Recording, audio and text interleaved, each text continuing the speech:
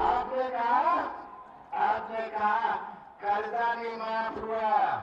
मोदी जी, हमने वचन दिया था। हमारा 132 दिन पहले कांग्रेस की सरकार बनी।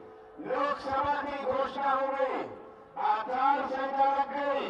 मेरे पास 75 दिन थे और 75 दिनों में 21 लाख किसानों का कर्जा माफ़ किया।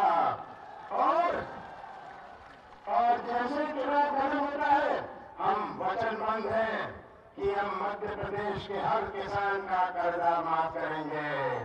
मोदी जी, हम हम प्रवचन की पार्टी नहीं है, हम तो वचन की पार्टी है।